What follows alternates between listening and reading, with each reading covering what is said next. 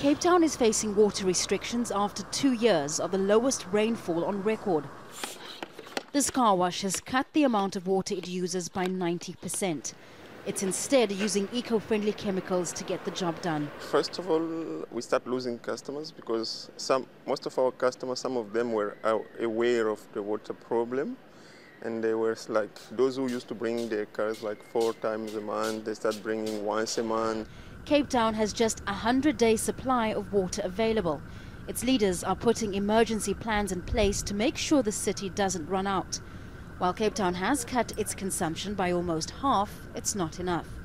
Almost all the water used by the city's 4 million people comes from dams like this one. But the dams are barely a third full, and it's not expected to rain anytime soon. So we, we watered this this morning. Small-scale farmer Nazeer Sonday says things didn't have to get this bad. He runs a one-acre farm based on saving water.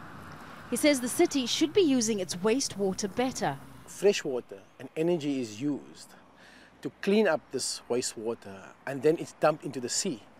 What we've been saying for the last eight years is that the plumbing of the wastewater should be reversed to allow that clean water to come into the Philippi horticulture area uh, and, and held in ponds in our area so that the water can be used to recharge the aquifer um, and also to, to be used for agriculture. The city recycles about 10% of its wastewater, which it mainly uses for irrigation. But it wants to process more for people to drink. I think there's a possibly a stigma attached to it. It's seen as dirty water, unsafe, unhealthy.